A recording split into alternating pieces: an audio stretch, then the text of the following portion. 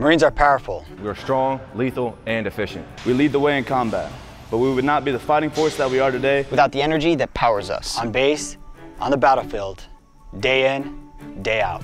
Energy is vital. From the first haircut a Marine gets on base, through training, in the barracks and mess halls, out to operating bases, during combat, and when they return home. Electricity, water, and fuel power these tasks. Turn off the lights, shut down the water, don't idle your vehicles, because all of that, all of that that we save goes back to making you a better Marine, a better trained Marine, a more combat efficient Marine, and what also is good for our nation and our resources. Smart use of energy can also keep our bases secure.